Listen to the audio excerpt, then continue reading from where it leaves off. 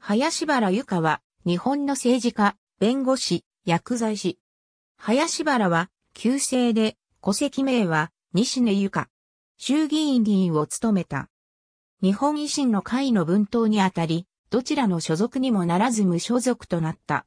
兵庫県芦屋市生まれ。1998年3月、東京大学薬学部卒業。同年、薬剤師国家試験に合格。2002年、旧司法試験に合格。2004年、弁護士登録。同年、いわゆる四大法律事務所の一つである森、浜田松本法律事務所に勤務。2007年、薬局に勤務。2012年12月16日の第46回衆議院議員総選挙に大阪2区から日本維新の会公認で出馬。小選挙区では自由民主党の佐藤明に敗れたが、比例近畿ブロックで復活し初当選した。2014年日本維新の会の分党騒動に際し、比例当選ではあるが、どちらの所属にもならず、無所属という選択をした。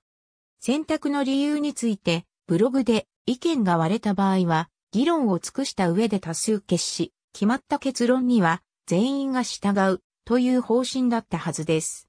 適切な意思決定手続きを行えない等に属することはできません。とコメントしている。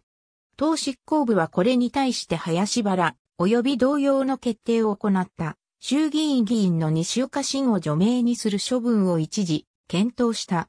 2014年12月14日の第47回衆議院議員総選挙には出馬を見送った。ありがとうございます。